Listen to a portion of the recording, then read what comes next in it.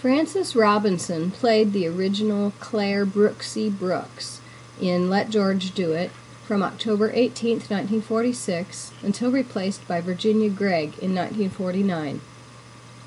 Robinson was born in Fort Wadsworth, New York, on 26 April 1916. She was one of the few entertainers of the era that did not start out in radio, moving to Hollywood in her teens in search of fame and fortune, and secured her first small role as a blonde drunk in the 1935 movie Millions in the Air.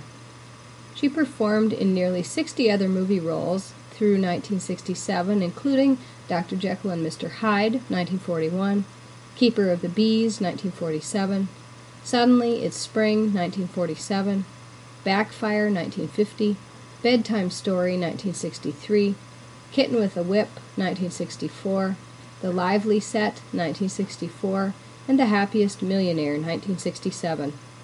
On radio, she appeared as Ellen Deering opposite Jose Ferrer's title role in Philo Vance in the summer of 1945 before taking on the role of Brooksy. She also starred in Murder and Mr. Malone in 1947 and Richard Diamond PD from 1949 to 51, among her other radio parts. Miss Robinson appeared in numerous TV shows in the latter part of her career, starting with the Armstrong Circle Theater in 1952 and concluding with A Storm in Summer, part of the Hallmark Hall of Fame in 1970. Robinson died of a heart attack in Los Angeles, California on August 16, 1971, at the very tender age of 55. For old time radio researchers, this is Alicia Williams, your announcer.